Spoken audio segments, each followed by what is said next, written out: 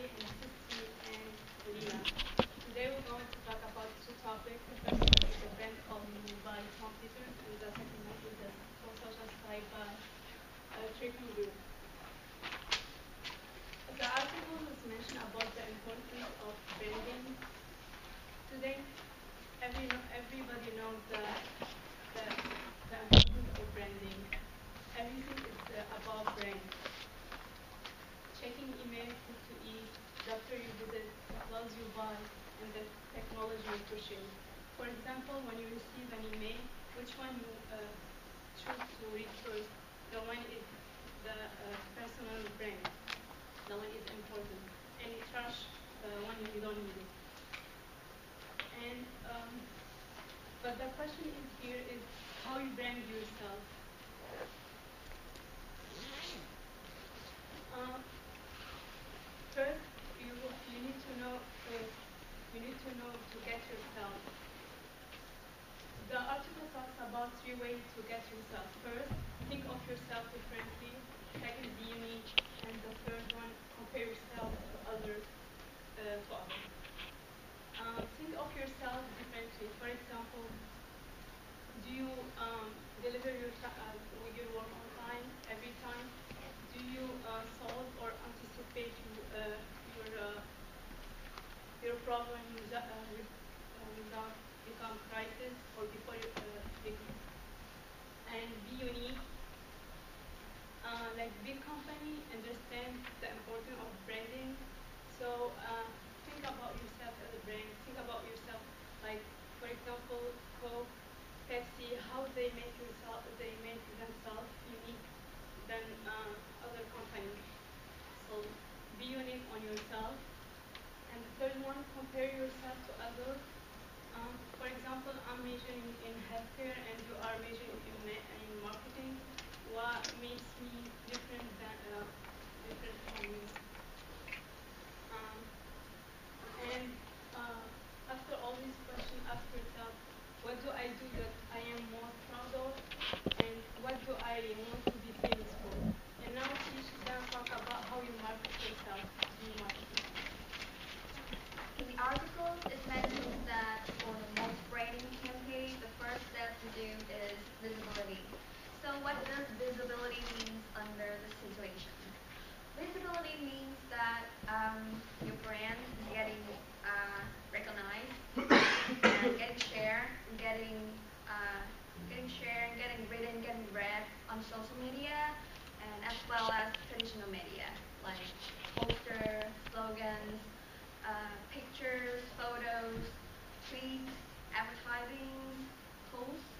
for example, if you are General Motors, like Ford, BMW, you probably need a lot of TV and printed ad designs to get a lot of impressions from your customers. So what if you are brand new? You are brand from yourself. What should you do? You also need the visible. You also need the same visibility. But the problem is you don't have budget. So what should you do about it? There are many ways for you to do to enhance yourself, your image, without the needed of a budget. For example, you up for extra projects inside your organization. By doing that, you can introduce yourself to your coworkers and to show off your skills. Or you can even work on some new skills that you don't know. Another thing you can do is to take on the freelance project to get connected with a group of novel people. Those people are uh, those people are really a big advantage for you when they're gonna spread out to the world that how good you are and how remarkable your contribution. You can also teach a class at community college or other education program or even in your own company. By doing that, you can get credit for being expert, being professional, and you can also increase the likelihood people will come back to you and come back to you to ask for more requests. And from that, you can get a lot of opportunities to stand out from the crowd. Uh, another thing you can do is, if you're a good writer, you can contribute an opinion piece or a column to a local to a local newspaper, or it doesn't have to be a local newspaper. It can you can be your school newspaper or even your company publications. And you can get some uh, track reports, and you can use that to select for more chances in the future. And if you're good at talking or presenting, please, please don't hesitate to get on a panelist discussion at a conference or workshop. If you have a couple of good, a couple of good presentations, then you can have a chance to get some kind of solo speech, and from that you can jump up to a major address uh, at your industry annual, annual convention. But, however, the most important thing to bring out your visibility is the word of mouth marketing. Your network of coworkers, friends, family, clients, customers, uh, is the most in, uh, is the most important marketing vehicle that you've got. Like what they're gonna say about you and about your contribution is what the market ultimate, ultimately um, measures the value of your brand. So if you want to bring out the visibility of your brand, please um, be aware of your networking consciously. The second step to uh, for your personal branding campaign is it all matters. So what does it mean? If you're promoting a brand you, yourself, everything you do or choose not to do communicates the value and the character of the brand. Like what? Um, like from everything that you do every single day, is like the way you hold your phone conversations, or even the way you send an email messages, or the way you conduct a business meeting, or even the way you design your business card, is it in a good shape, the way you put information on it, or is your logos on the business card is good looking and stand out from the crowd. Or the simplest way you can think of is the way you come to class. If you come to class to the business the business meeting late, it also uh, communicates the value and the character of the brand. So what you want to do is to be aware and careful of every single thing that you do every day so that you can create the greatest value and the character of your personal brand. So I'll pass it for Lena to talk about the next article. Okay, so um, for the second article, it talked about the four social styles.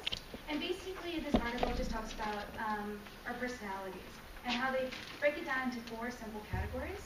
So the categories are the driver, expressive, amiable, and analytical personalities. So um, I'm going to talk a little bit more about them. Okay, so for the analytical personality, they're sort of the thinkers. You can think of them, they're quiet, logical, reserved. Um, they seem distant and tend to be cautious. Now, um, they have really strong time discipline. They do act slowly because they want to make sure everything works efficiently and um, benefits them. Uh, when making decisions, they make decisions based on facts. And uh, they need security when they make decisions. So driver personalities are the action-oriented people. They're the go-getters. They're the people like, we're going to get this done. We're going to do all these things. Uh, they're usually very determined and forceful. Um, when it comes to time, they have a little tolerance for wasting time. Uh, they just like to get things done, be productive, and they prefer to stay on target than be off task doing something else. So when making decisions, uh, they usually are seem power hungry sometimes, but it's not like that. They just let, they like to make their own decisions, and they do not like being told what to do. So amiable people are the relationship-oriented people. So they're kind of easygoing, they're casual and formal. They, prefer to collaborate with each other and other people rather than, you know, uh, competing or arguing or disagreeing on things. They tend to move slowly and avoid conflict. They're usually the people that just, oh, stay out of things when people get, when things get heated. Um, they value the input of others, and they're easily influenced by other people, and they're not risk takers.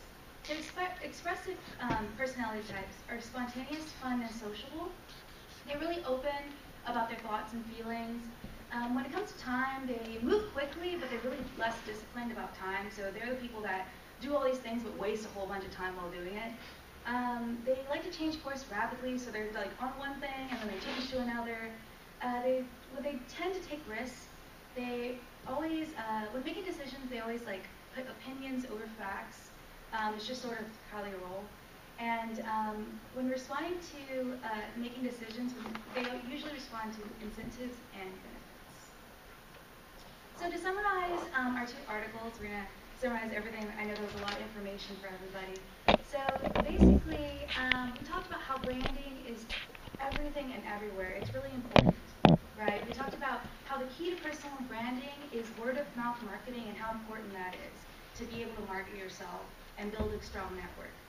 Anything you do and communicate can communicate the value and character of your brand. So we talked about coming to class late, like that shows what type of value and character you're displaying to people. So we talked about ways to stand out, kind of making yourself stand out. Uh, we talked about thinking of yourself differently, being unique, and comparing yourself to other candidates. You might want to try to think of yourself differently, think of what you have other people don't have. And this is something that the article uh, kind of ties into the second one. So we're talking about like the four social styles and how they're analytical, driver, amiable, and expressive. If you know what social style you are, you can definitely figure out what your strong um, suit, what your strong things, your strong personality traits are, and then that you have an advantage over other people about. So that ends our presentation. Uh, now we're going to start the quiz.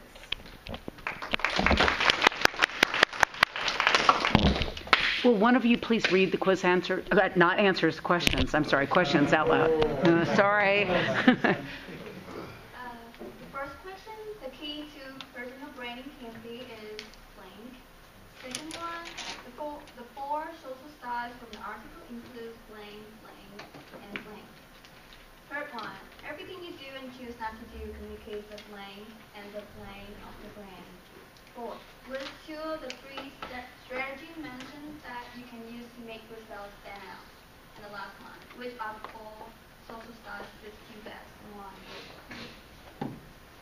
Thank you. Okay, let's give them a